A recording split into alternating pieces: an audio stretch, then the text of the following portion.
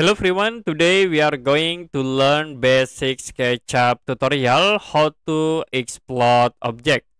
So as example, we have this uh, single objects in group or component. If you want to explode this object, you can select and the next right click, choose the explode tools. So the selected object will be automatically explode. You can select the part of this object like this. Okay if you want to make group again you can select all right click and then choose make group. So the object will be set into group.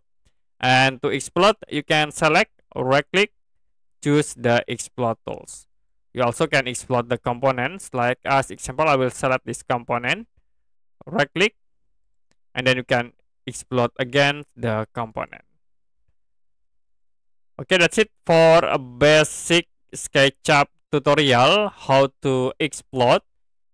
If you have any question about tutorial, you can comment below this video.